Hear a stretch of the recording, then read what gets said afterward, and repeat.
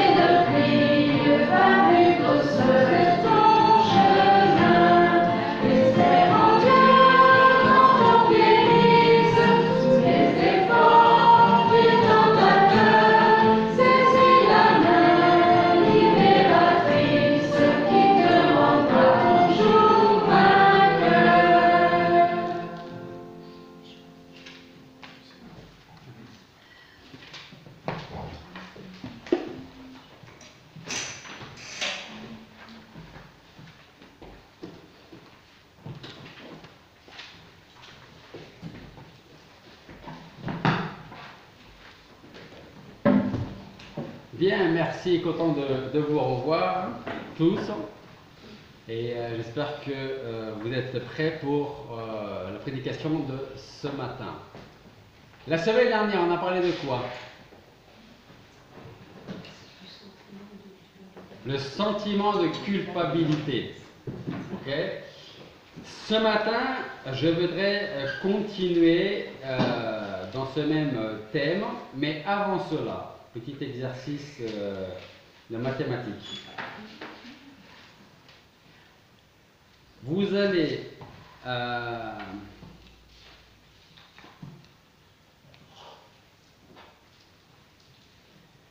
vous allez multiplier, alors, sauf si vous avez une bonne tête, sinon prenez une calculatrice.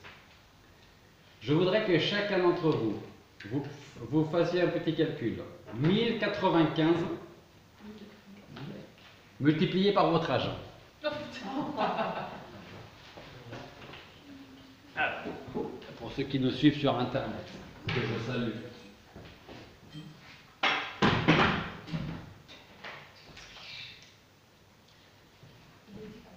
Oui.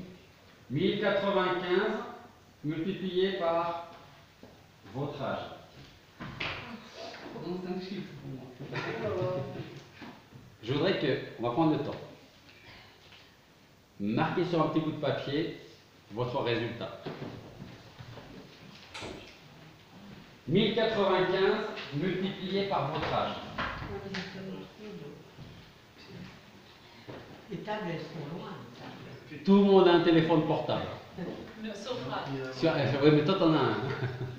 Donc, vous prenez votre calculatrice, ça c'est moi. ou si vous préférez à la main, 1095 multiplié par votre âge.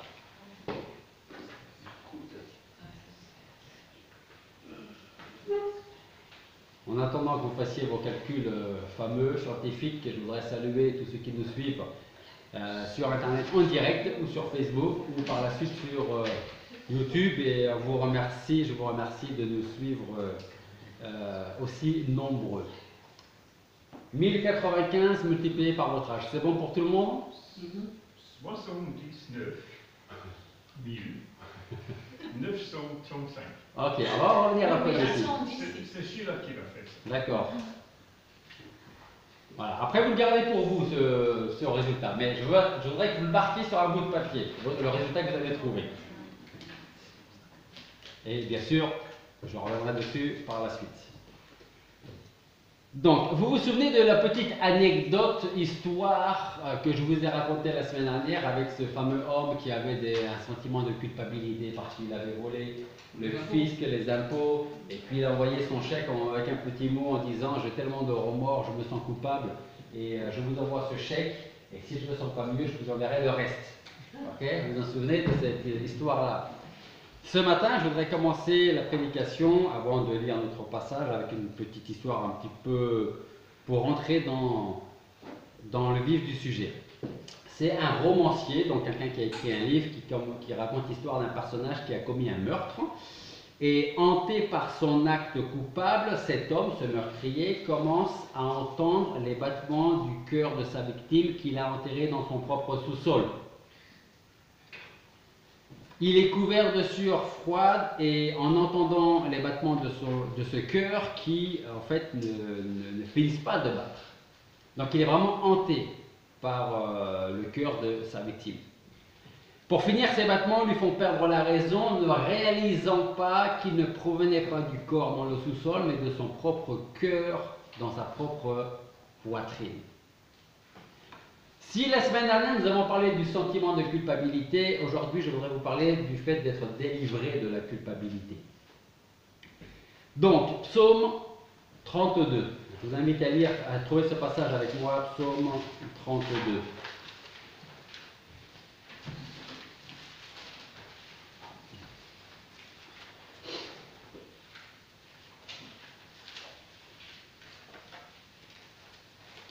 Psaume 32, qui nous dit Heureux celui dont la transgression est pardonnée et dont le péché est couvert. Heureux l'homme à qui l'Éternel n'impute pas l'iniquité et dans l'esprit duquel il n'y a pas de fraude. Quand je me suis tu, mes os se sont consumés et je gémissais tout le jour. Car jour et nuit, ta main s'apesantissait sur moi, ma vigueur se changeait en une sécheresse d'été. Je t'ai fait connaître mon péché et je ne t'ai point caché mon iniquité. Alors j'ai dit, je confesserai mes transgressions à l'Éternel, et tu as ôté la peine de mon péché. C'est pourquoi tout fidèle t'invoquera autant qu'on te trouve, et quand les grandes eaux déborderaient, seul il n'en serait point atteint. Tu es ma retraite, tu me garantis de la détresse, tu m'environnes de chants de délivrance. Je te rendrai intelligent, m'a-t-il dit l'Éternel. Je t'enseignerai le chemin où tu dois marcher, je te conduirai et mon œil sera sur toi.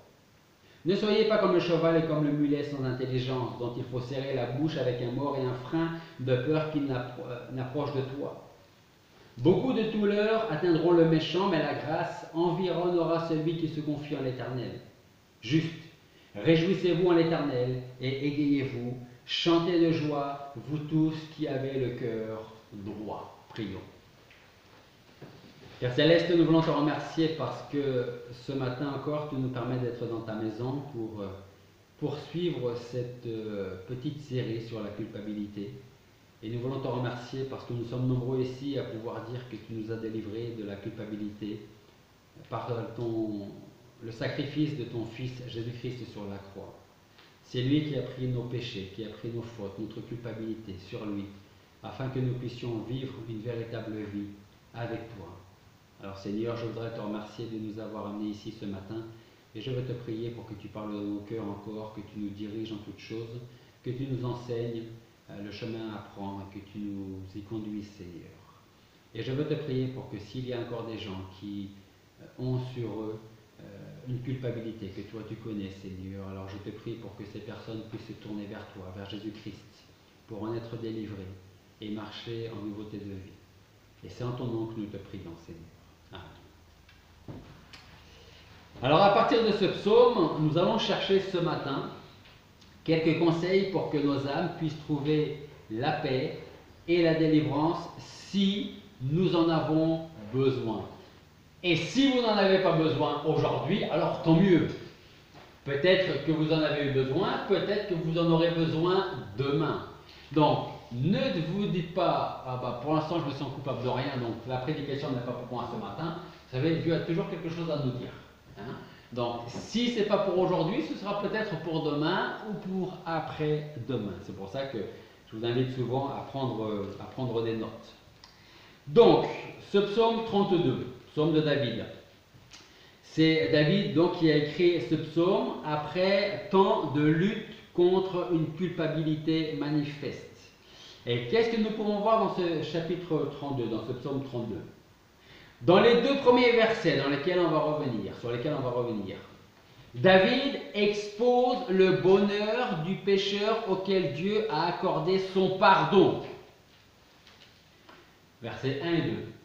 Dans les versets 3 à 7, il veut nous encourager en décrivant sa propre misère qui a précédé et la consolation qui a suivi la confession de ses péchés. Et enfin, dans les versets 8 à 11, David invite les pécheurs à la repentance et il exhorte les chrétiens à se réjouir en Dieu. Alors je voudrais utiliser ce psaume 32 pour en retirer au moins quatre étapes qui vont nous aider à retrouver la délivrance pour nos âmes quand nous nous sentons, si nous nous sentons ou si nous allons nous sentir coupables de quelque chose un jour. Alors, je vais faire quelques parallèles avec la semaine dernière. En tout cas, la première chose à connaître, c'est la source de sa propre culpabilité. Rappelez-vous, c'est un petit peu loin, c'est sept jours, mais rappelez-vous un petit peu des deux sortes de culpabilité que nous avons vues la semaine dernière. Alors, est-ce que quelqu'un a assez de mémoire pour me donner la première? C'est effectivement la culpabilité nuisible qui vient de qui? Du diable. Et l'autre, c'est laquelle? C'est de Dieu. La culpabilité efficace qui nous vient du Saint-Esprit qui travaille dans notre vie. Et on l'avait dit la semaine dernière, chacun, malheureusement, a son travail à faire, que ce soit Satan pour nous saper complètement, ou le Saint-Esprit pour au contraire nous amener devant la croix de Jésus-Christ, au pied de Jésus-Christ pour dire, comme on va le voir comme David, j'ai péché contre toi. Donc, est-ce que quelqu'un peut me donner une définition, avant que je vous donne la définition du Larousse, de la culpabilité? Une définition brève, simple, rapide, limpide. Vous devez expliquer ce qu'est la culpabilité à, à quelqu'un de jeune. C'est la prise de conscience d'une mauvaise action, d'une mauvaise pensée. Une prise de conscience de mauvaise action, mauvaise pensée. Et donc, euh, on se sent pas bien. D'accord, on ne se sent pas bien. Et c'est ça qu'on appelle un sentiment de culpabilité. D'accord. Autre chose Quelqu'un d'autre va rajouter quelque chose à ce que Nina a dit? En tout cas, je vais vous donner la définition, merci Nina, de- du Larousse qui nous dit sentiment d'une personne qui se juge coupable. Qui se juge coupable. Rappelez-vous, la semaine dernière, je peux avoir le sentiment de culpabilité parce que je n'ai pas tondu la pelouse de mon jardin ou parce que le ménage dans ma maison n'est pas fait. Est-ce que c'est une vraie, un vrai sentiment de culpabilité? Ben, Peut-être que pour certains, oui, mais euh, ce n'est pas. voilà, ce n'est pas quelque chose qui, je pense, je pense, euh, va nous faire du tort physiquement. Parce que rappelez-vous que le sentiment de culpabilité, le vrai, va nous mettre d'une certaine manière à genoux devant le Seigneur tellement on n'en peut plus. Ok? Personnellement, je ne me suis jamais mis à genoux parce que je n'avais pas tendu la pelouse à la maison. Ça viendra peut-être un jour, mais pour l'instant, c'est jamais arrivé. Donc, la semaine dernière, on a donc parlé de la fausse culpabilité et de la vraie culpabilité. La culpabilité nuisible, celle qui vient de Satan, et la culpabilité efficace qui vient du Saint-Esprit. Après, ce qu'il faut savoir, je pense que j'en ai parlé la semaine dernière, des études de psychologie ont mis en évidence que de constantes condamnations venant d'une fausse culpabilité pouvaient avoir des effets contraires et empêcher une personne de vivre efficacement. Ça, c'est le travail de celui que la Bible appelle l'accusateur des frères. Autrement dit, Satan ou le diable. Parce qu'il aime rappeler à Dieu les fautes de son peuple, les miennes et les vôtres. Et il aime aussi nous les rappeler de temps en temps. Comme pour dire, si tu y penses encore, c'est que probablement Dieu t'a pas pardonné. Et on peut finir par croire que Dieu, effectivement, ne veut plus nous pardonner ce même péché dans lequel nous tombons si souvent. Autrement dit, t'es pas bon à rien, mais presque. Et puis, il y a la culpabilité efficace. Celle qui vient du Saint-Esprit, c'est ce qu'on pourrait appeler une conviction. C'est l'action qui est accomplie par le Saint-Esprit sur notre conscience concernant les choses que nous avons faites ou que nous allions faire et que le Seigneur ne veut pas, par exemple. Parce que si on fait quelque chose de bien, en principe, si dans votre tête tout va bien, vous n'allez pas avoir un sentiment de culpabilité. Vous pouvez peut-être, par contre, si, je vais rajouter quelque chose, vous pouvez, peut-être avoir ce sentiment de culpabilité de vous dire ce que je fais maintenant et je vois qui est bon, c'est vrai que j'aurais dû le faire déjà avant. Ça peut arriver, ça aussi. De dire, ce que je fais maintenant, je, réalise que j'aurais dû commencer, le faire, dire avant. Maintenant, j'ai quand même commencé, Dieu merci. Donc, la culpabilité, quoi qu'on en pense, a sa place dans nos vies. C'est un petit peu, ça rejoint un petit peu Romains 8, 28. Toute chose concourt au bien de ceux qui aiment Dieu. Et parmi ces toutes choses, il y a aussi la culpabilité, avec le vrai sentiment, la vraie culpabilité. C'est aussi bénéfique pour nous. C'est un peu comme quand vous avez de la fièvre. Si vous avez de la fièvre, c'est qu'il y a quelque chose qui ne va pas bien chez vous. Alors, ça peut être une infection, ça peut être euh, la grippe, ça peut être le Covid. Euh, mais si vous avez de la fièvre, c'est un voyant rouge qui s'allume en disant il y a quelque chose qui ne va pas bien. En principe. D'accord? Eh bien, le, vrai sentiment de culpabilité a exactement la même fonction, je dirais, que la fièvre. Il y a quelque chose qui se passe que tu as fait ou que tu n'as pas fait et qui ne va pas. Et ça travaille. Moi, là, je vous parle de la vraie culpabilité. Donc, quoi qu'on en pense, la culpabilité, la vraie, a sa place dans nos vies, tout comme la douleur. Elle n'est pas agréable, c'est certain, mais elle nous aide à nous prévenir qu'il y a quelque chose qui se prépare et qu'il va falloir prendre des médicaments, aller voir le médecin pour aller mieux. Un autre psychologue décrit la culpabilité comme la lumière rouge qui s'allume sur le tableau de bord d'une voiture. Et quand euh, vous avez un voyant rouge sur votre voiture qui s'allume, vous avez deux possibilités euh, eh ben, vous vous arrêtez et puis vous faites en sorte de. il y en a qui sourient, je ne sais pas si vous avez problème avec votre voiture, mais. Euh, hein, D'accord, j'ai compris. Donc, ou tu as, tu as deux possibilités. Ou tu t'arrêtes et tu appelles ton mécanicien qui va te avant que ce soit pire, ou eh ben, tu oublies la lumière rouge, tu continues à rouler, et puis la lumière rouge, la panne va te dire qu'il fallait t'arrêter avant. Ok? Ça sert aussi à ça, les voyants rouges euh, sur le tableau de bord de votre voiture, Nadine. Alors, vous allez me dire que la première option est la meilleure parce que on s'arrête et on va chercher à savoir d'où est le problème, d'où vient le problème et à résoudre ce problème avant d'en avoir plus de problèmes. Et tout le monde dira que c'est exactement ce qu'il faut faire, mais tout le monde ne fera pas forcément ce qu'on doit savoir faire. Je sais que je dois m'arrêter parce que j'ai un voyant moteur rouge qui s'allume, mais il me reste un kilomètre avant d'arriver à la maison. C'est tentant, hein, n'est-ce pas, de continuer, mais entre le moment où la lumière s'est allumée et le kilomètre qui vous sépare de la maison, vous pouvez avoir des problèmes. Donc on sait ce qui est bien, mais est-ce qu'on le fait toujours? La deuxième option, elle va vous soulager sur le moment. Il me reste un petit kilomètre, on verra arriver à la maison, sauf que vous n'allez pas arriver à la maison parce que le moteur de la voiture va s'arrêter et puis vous allez devoir finir à pied et appeler votre garagiste.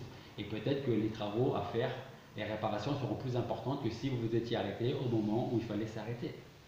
Donc le premier point, c'est connaître la source de sa culpabilité. Est-ce que c'est une vraie culpabilité que nous avons en nous ou une fausse culpabilité? Deuxième point, c'est euh, quelle est cette source de culpabilité? Dans les deux premiers versets de notre passage, nous avons quatre mots qui révèlent la source de notre éventuelle culpabilité. Dans les deux premiers versets, nous lisons Heureux celui dont la transgression est pardonnée, dont le péché est couvert. Verset 2 Heureux l'homme à qui l'Éternel n'impute pas l'iniquité et dans l'esprit duquel il n'y a pas de fraude. Ces quatre mots sont les suivants. Premièrement, transgression. Heureux celui dont la transgression. Transgression, je vous donne la définition, c'est action de passer outre, au-delà de certaines limites. C'est d'ailleurs euh, action de passer outre, de franchir une limite interdite. Par extension, on pourrait dire toutes sortes de désobéissances qui vont nous amener au péché. Toujours dans le verset 1, après le mot transgression, il y a le mot péché. La définition, c'est manquer le but exigé par Dieu. Nous savons ce que nous devons faire parce que Dieu nous le dit dans sa parole, mais on ne le fait pas, on commet un péché. Ok? Ça, ces personnes n'arrivent à être aussi bien et aussi bon que Dieu l'exige. Faute, égarement, action injuste par rapport à la définition du mot péché, ou immoral qui appelle la condamnation de Dieu. Donc il y a les transgressions et il y a le péché. Le troisième mot se trouve dans le verset 2, c'est le mot iniquité. Si on veut donner une définition simple de l'iniquité, c'est perversité, mal moral s'exposer à la culpabilité, sujet de punition. Vous pouvez vous sentir coupable à cause de vos choix, de votre vie, de ce que vous avez fait qu'il ne fallait pas faire, de ce que vous n'avez pas fait que vous auriez dû faire. Ça, c'est l'iniquité. Et puis, enfin, il y a le mot fraude. Action faite avec mauvaise foi pour tromper. Rappelez-vous cette histoire, cette, petite euh, illustration de celui qui a fraudé avec les impôts. C'est une disposition de cœur qui méprise la vérité. Frauder, bah, tout le monde sait ce que ça veut dire, frauder. Donc, d'après les définitions de ces quatre mots, nous avons tous franchi les limites interdites, que ce soit par la loi française ou par la loi de Dieu. Que ce soit manquer le but, commis le mal ou encore méprisé la vérité dans une certaine mesure. La Bible nous dit ce qu'est la réalité du péché. Elle nous dit que c'est manquer aux exigences de Dieu dans nos pensées, nos paroles et nos actes. Trois points. On va revenir là maintenant. Trois points. On peut pécher comment? Par nos pensées, par nos paroles et par nos actes. Alors imaginez que vous péchez trois fois par jour. Une fois par le pensée, une fois par vos paroles, une fois par vos actes. Trois fois par jour, multiplié par 365 jours, ça vous donne 1095 fois par an, multiplié par votre âge. En ce qui me concerne, alors, entre nous, j'ai compté que 49, même si j'ai 50 à la fin du mois. Je ne vais pas rajouter un an plus. En ce qui me concerne, 1095 multiplié par 49, ça me donne 53 655 péchés minimum depuis que je suis né. Qui c'est qui a battu le record là?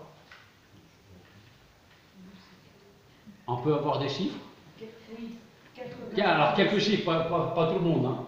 1740. Alors, combien? 1740. 100 1740. 110 000 100 100 740. Ok Nadine? 1081 et des poussières. je peux 1081, je pense que tu es plus âgé. Qu'est-ce que tu penses, euh, Nadine Oui. 80 000, pardon. Ah oui. 80 81 000. Des poussières. Bon, on oublie les poussières. On oublie les poussières. Allez, une dernière personne. 90 885 fois. Et tu as l'air d'être fier de nous le dire en plus. Vas-y, répète, répète combien? Je suis le vainqueur de la honte. Com- Combien tu as dit? 90 885. 90 885 fois. Alors, si vous nous suivez, je ne sais pas si vous avez fait, si vous pouvez le faire, c'est 1095, c'est-à-dire ça correspond à au moins 3 péchés par jour pendant un an. Vous multipliez par votre âge et ça va vous donner un minimum de péchés à la date d'aujourd'hui. Où je veux en venir?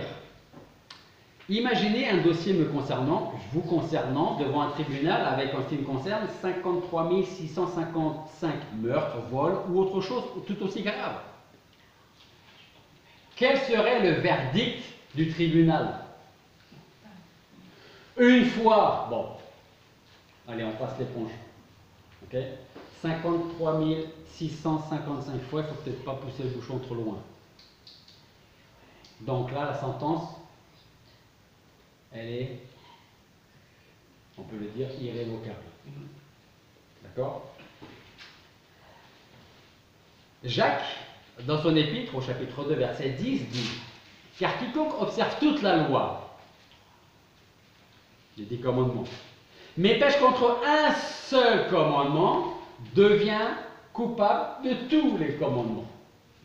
Que tu en transgresses un, Jacques 2, 10, que tu transgresses un commandement, c'est-à-dire, par exemple, tu ne voleras pas, mais tu as volé, tu es coupable d'avoir transgressé les autres aussi. Donc 53 655, c'est c'est un chiffre tellement ridicule quand on compare avec notre vie depuis le moment où nous avons la conscience de péché jusqu'à aujourd'hui. J'ai une question à vous poser. Combien faut-il de fissures dans une vitre pour qu'elle soit cassée Une seule. Une seule? On n'a pas besoin de transgresser toutes les lois du pays, toutes les lois de Dieu pour que la police, pour que Dieu nous recherche. Une seule transgression fait de nous un transgresseur de la loi, qu'elle soit la loi du pays ou la loi morale de Dieu. C'est pour cela que l'on peut dire qu'une seule transgression produit la culpabilité, la vraie culpabilité. Nous nous sentons coupables parce que nous sommes coupables. Parce qu'on parle de la vraie culpabilité. C'est des mauvaises nouvelles, mais il y a aussi de bonnes nouvelles. Dieu désire que je sois heureux en me pardonnant mes fautes et mes péchés et mes transgressions, mes manquements. Les gens pardonnés, le dit David, sont les gens les plus heureux. Si vous avez fait du mal à quelqu'un et que vous allez demander pardon, parce que ça travaille, et que la personne vous pardonne, vous n'allez pas vous sentir mieux après? Vous aurez certainement quand même des remords de dire j'aurais pas dû, ainsi de suite, ou voilà. Mais vous allez vous sentir beaucoup mieux. Parce que vous aurez été délivré dans le fait, dans le sens où vous avez été voir la personne. La personne vous a pardonné et vous repartez le cœur léger. C'est exactement la même chose lorsque nous allons vers le Seigneur et qu'on lui cite quelques-uns de nos péchés, parce que vous vous doutez bien qu'on ne pourra jamais citer tous nos péchés, mais lui les connaît. Et vous savez pourquoi il les connaît? Parce qu'il les a portés sur ses épaules lorsqu'il était cloué sur la croix. Il les connaît. Il n'attend pas à ce que nous venions le voir avec notre liste en disant tel jour, à telle heure, j'ai fait ceci, j'ai fait cela. Simplement dire j'ai péché contre toi. Et mon péché, comme le disait David, est toujours devant mes yeux. Mais quand on est délivré de la culpabilité, quand on sait qu'on est pardonné par Dieu, cette culpabilité part. C'est la culpabilité efficace. Et il y a un véritable contraste avec les gens coupables. Et pourtant, je vous dis ça, il y a tellement de chrétiens qui vivent comme s'ils étaient toujours coupables. Peut-être pour au moins deux raisons. Peut-être plus, mais au moins deux raisons. La première, c'est que c'est une fausse culpabilité, euh, qui sont sous le joug de Satan, qui a réussi à les garder dans une fausse culpabilité. Mais ça peut être aussi le fait qu'il les garde sous une vraie culpabilité, mais qu'il a réussi à convaincre la personne que tu continues à pécher. Et puis tu continues. Demande plus pardon à Dieu parce que tu le fais à chaque fois, puis à chaque fois tu recommences. Donc il y a le véritable péché que l'on fait, mais lui, l'ennemi, a réussi à nous persuader qu'il n'a plus envie de nous pardonner. Et l'autre sentiment, l'autre raison qu'ils se sentent toujours coupables, c'est parce qu'ils sont véritablement coupables et qu'ils ne veulent pas, pour une raison ou pour une autre, demander pardon à Dieu. On va dire, c'est complètement débile, mais pas autant que ça. Parce que qui n'a jamais vécu, même si c'est qu'une seule journée, avec quelque chose qu'on savait ne pas être bien, donc pour ne pas le nommer un péché, mais comme ce jour-là, ou pendant une heure, ou pendant un quart d'heure, ça nous a arrangé, on est quand même passé au-delà de ça. Hein? On peut avoir ce sentiment.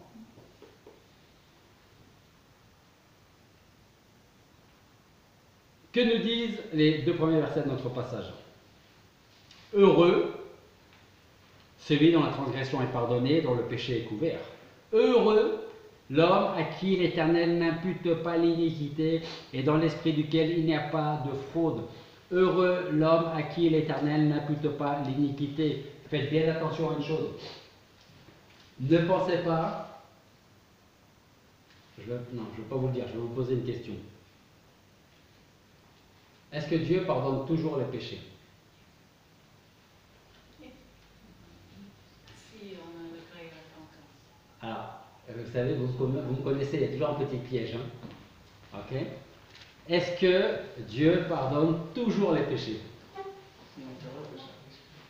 Il y a un seul qui, je crois qu'il ne sera jamais pardonné, non? Euh, Il me semble avoir pensé le Saint-Esprit. C'est vrai, mais c'est pas ça. D'accord.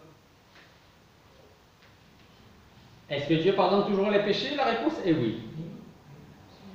Mais, faut-il encore lui demander pardon? Parce que si on ne lui demande pas pardon, il faut faire attention à ça. Si on ne lui demande pas pardon, alors on peut commettre euh, le péché, comme on, dit dans certaines autres églises, par omission. Et puis d'ailleurs, ça peut arriver de faire du, tort à quelqu'un sans même s'en rendre compte. Et puis si la personne ne vient pas vous voir pour dire tu m'as gêné, tu m'as dérangé, tu m'as. Euh, voilà. Si on ne le sait pas, on peut pas, on peut pas le savoir. Et donc dans ce cas-là, effectivement, on n'a pas commis de péché. Mais si la personne vient nous voir et qu'on ne fait rien, là on est toujours dans le péché. Donc, oui, Dieu pardonne les péchés. Faut-il encore lui demander pardon pour nos péchés? Parce que si on ne lui demande pas pardon, il ne nous pardonnera pas. Ne pensons pas que Dieu efface après la journée de travail, la journée qui vient de se terminer, on se couche, Dieu prend notre ardoise, hop, et on efface tout ça. Il ne m'a pas demandé pardon, mais c'est pas grave. Dans mon grand amour, j'efface tout, et puis on verra demain ce que ça va donner. Non. D'ailleurs, il le dit lui-même. Il dit, pardonnez aux autres. Et qu'est-ce qu'il rajoute? Il dit en plus, si vous ne pardonnez pas aux autres le mal qu'on a pu vous faire, c'est quoi la suite? Est-ce que Dieu pardonne toujours les péchés? Vous voyez la, question? Si on n'est pas prêt à pardonner les autres, ne vous attendez pas à ce que Dieu pardonne vos péchés. C'est pas moi qui le dis, c'est la Bible qui le dit. Mais nous, on ne doit pas attendre que la personne nous demande pardon pour pardonner. Tout à fait. Voilà, Tout à fait. Mais il y a des gens qui resteront chacun dans son coin et puis euh, je ne viendrai pas vous demander pardon, et puis vous, vous n'allez pas venir me demander de m'excuser. Donc si moi, dans mon orgueil, dans, je ne sais pas, dans ce qui me touche, je suis tellement offensé que je ne te pardonnerai pas ce que tu, as, tu m'as fait, est-ce que je, je suis en droit de demander pardon à Dieu? Il nous dit, pardonnez aux autres leurs péchés. Si vous ne pardonnez pas, votre Père Céleste ne vous pardonnera pas non plus. Et surtout, le pardon libère. Exactement. Donc la parole de Dieu est claire. La parole de Dieu est précise. Est-ce que Dieu pardonne toujours les péchés? Maintenant, vous saurez quoi répondre. Donc, on revient à nos versets 1 et 2. Dans ces versets, Dieu nous parle de ce pardon dont nous avons tous besoin et sans lequel nous sommes tous perdus. Et c'en est assez pour nous engager à solliciter le pardon de Dieu. Heureux celui dont la transgression est pardonnée et dont le péché est couvert. Le péché est la seule cause de notre misère et le pardon c'est le commencement de notre bonheur. Quand notre conscience est réveillée par le Saint-Esprit, alors nous réalisons combien le péché nous rend, je ne sais pas si le meilleur terme c'est odieux, O-D-I-E-U-X pluriel, euh, aux yeux de Dieu. Mais quand il est pardonné, il est couvert par la justice de Christ, pour faire en sorte que Dieu ne soit plus irrité contre nous. Quand il nous pardonne, vous savez ce que Dieu fait bien contrairement à nous parfois? Vous savez ce que Dieu fait avec nos péchés quand il nous pardonne? Parce qu'on lui a demandé pardon Il prend nos péchés il les jette loin derrière lui il ne revient jamais sur nos péchés en lui disant hop hop hop rappelle-toi il y a deux ans et demi et trois jours et deux heures. Hein nous aussi on fait comme ça, on fait comme Dieu. Hein quand on pardonne à quelqu'un, on oublie toujours ses péchés et on revient jamais dessus. Hein Sauf quand ça nous arrange.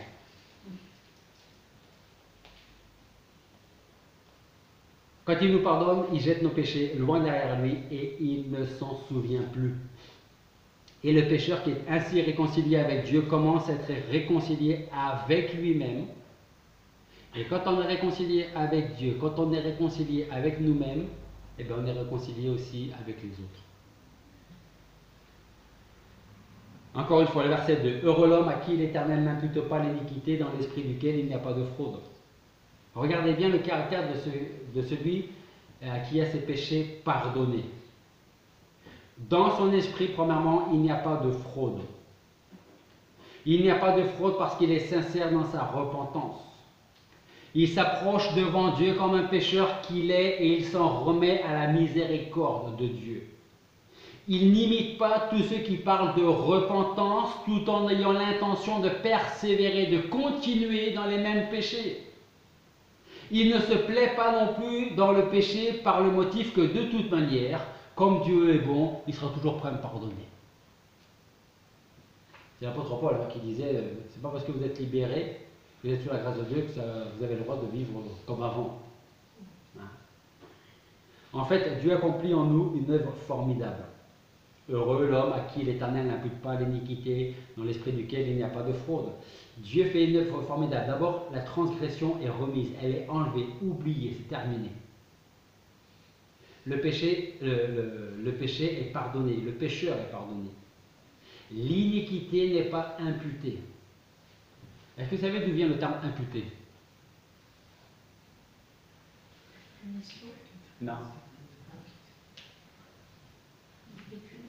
Oui, mais le mot, le mot imputé. En fait, le mot imputé, c'est un terme bancaire. Ok? Ça veut dire créditer un compte. Ah oui. Et sur mon compte péché, 53 655, Dieu a effacé et il a mis un zéro à la place. À la place de la fraude, Dieu me donne un esprit nouveau, avec la vérité au fond du cœur. Et si Dieu me donne un esprit nouveau, alors il faut vivre en nouveauté de vie, comme le dit le Seigneur, comme le dit l'apôtre Paul. La volonté de Dieu, c'est que nous fassions l'expérience du bonheur en étant délivrés de la culpabilité. La dette de nos transgressions est effacée parce que le fruit, le résultat du péché, c'est quoi? C'est la mort, c'est la séparation avec Dieu, physique et spirituelle. Nos péchés sont hors de sa vue quand la transgression est effacée. Notre culpabilité est ôtée et notre cœur est changé de l'intérieur. Et ça va se voir forcément à l'extérieur. C'est-à-dire les autres vont le voir. Parce que si les autres ne voient aucune différence entre avant d'être au Seigneur et après être au Seigneur, c'est que peut-être vous n'êtes jamais venu au Seigneur. Ou alors vous cachez bien votre jeu. Je ne sais pas. Mais la deuxième solution, comme la première d'ailleurs, c'est une mauvaise solution.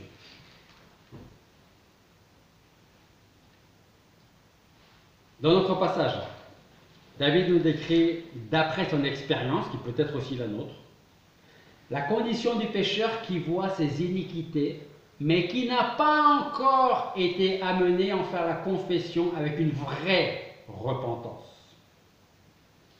En plus de cela, ceux qui gardent le silence par rapport à leurs péchés. Alors quand je dis ça, ça ne veut pas dire qu'il faut arriver dimanche prochain et avouer tous les péchés qu'on a fait à toute l'Église.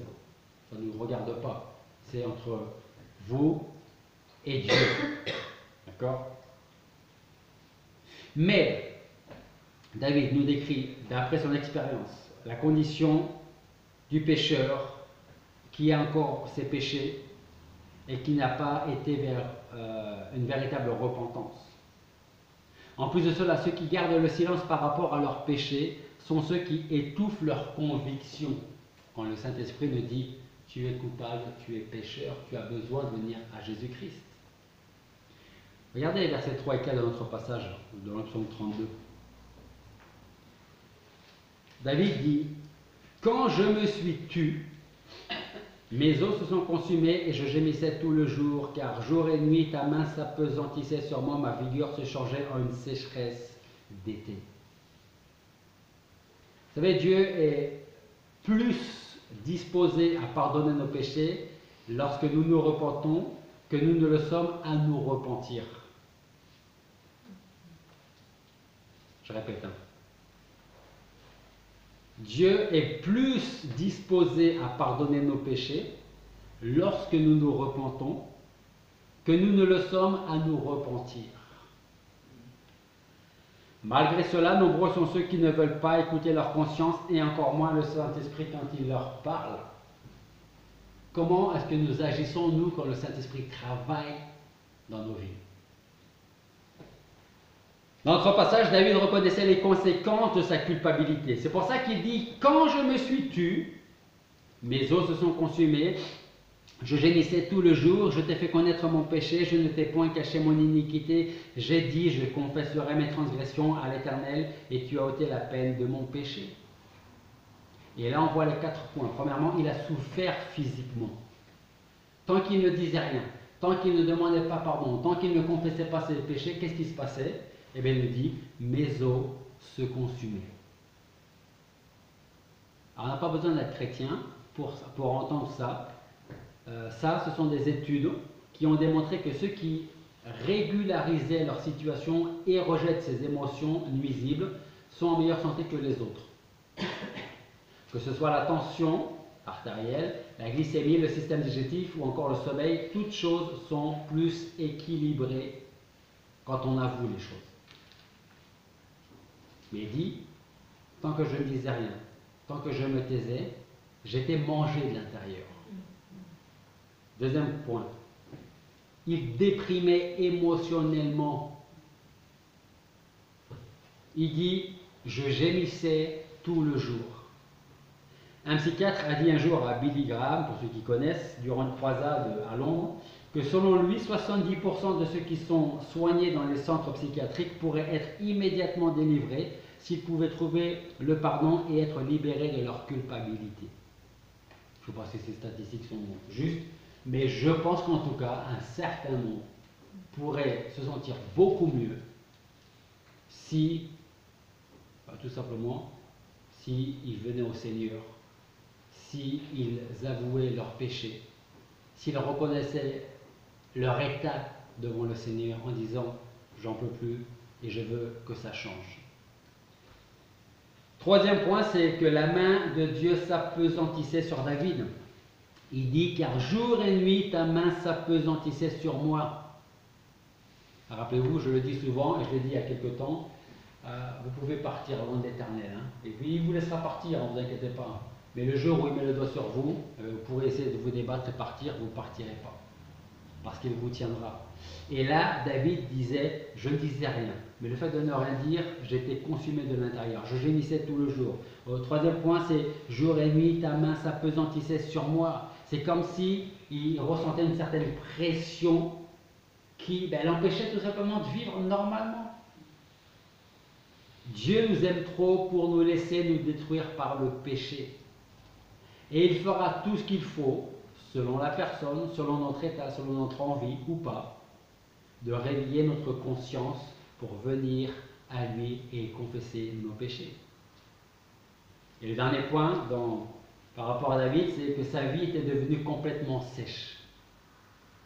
Tant que je ne disais rien, j'étais consumé d'intérieur. Je gémissais tout le jour. Nuit et jour, ta main s'apesantissait sur moi et ma vigueur se changeait en une sécheresse d'été.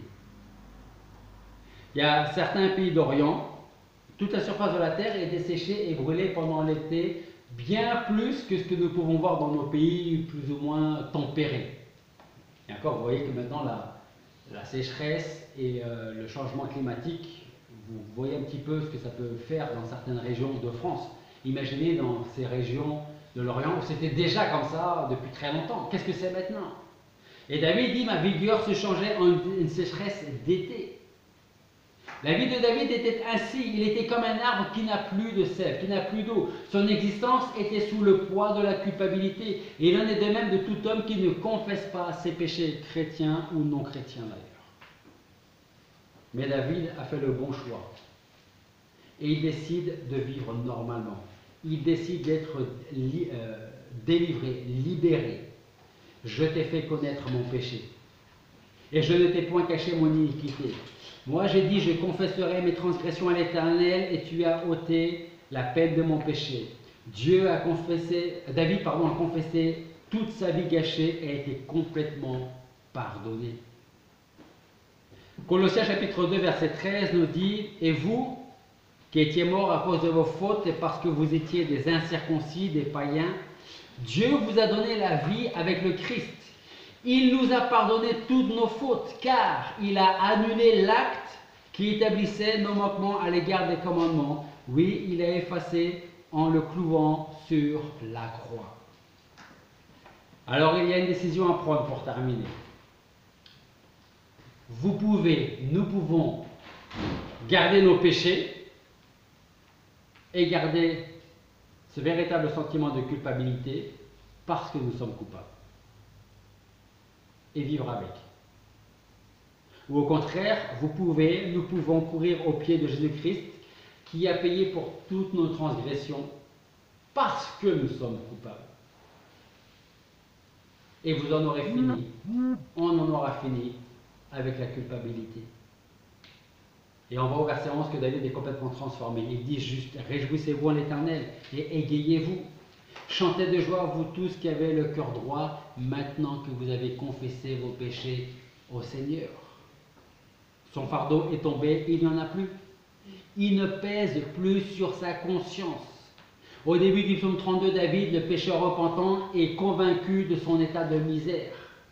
Il célèbre le bonheur de l'homme pardonné, Heureux celui dont la transgression est pardonnée. Heureux l'homme à qui l'Éternel n'impute pas l'iniquité. Puis dans les versets suivants, il avoue tous ses péchés à Dieu, même si Dieu les connaît déjà. Puis il termine le psaume en expérimentant ce même bonheur qu'il parlait au début. Maintenant que je t'ai tout dit, tu connaissais mon cœur mieux que moi. Mais maintenant que je t'ai complètement ouvert et que je t'ai tout avoué, eh bien tu es ma retraite. Tu me garantis de la détresse. Tu m'environnes de champs de délivrance. Je te rendrai intelligent, m'a dit l'Éternel. Je t'enseignerai le chemin où tu dois marcher, je te conduirai et mon œil sera sur toi. David vit maintenant le pardon de Dieu et goûte à cette paix qu'il procure. Beaucoup de douleurs atteindront le méchant, mais la grâce environnera celui qui se confie en l'éternel. Prions. Père Céleste, nous voulons te remercier parce que ce matin encore, tu nous as permis de voir la suite de ce sentiment de culpabilité. Et nous voulons te remercier parce que c'est toi qui nous donnes le véritable sentiment de culpabilité par ton Esprit Saint, afin de nous conduire vers toi. Je te remercie parce que c'est toi qui t'occupes de nous, et parfois ta main s'apesantit sur nous également. Aide-nous à le voir, à en prendre conscience, afin que nous puissions te confesser nos péchés afin de vivre comme tu veux que nous vivions. Seigneur, nous voulons te remercier de nous avoir ouvert les yeux sur notre état devant toi, sur nos péchés. Et nous voulons te remercier de nous avoir amenés à Jésus-Christ par le Saint-Esprit. Merci pour ce plan que tu as de toute éternité, de sauver ton peuple.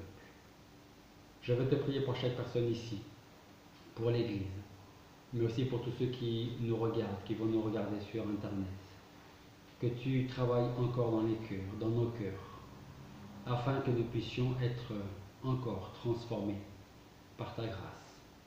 Merci pour ce travail que tu as commencé en nous, et on te remet encore nos vies pour la suite. Et en ton nom que nous te prions.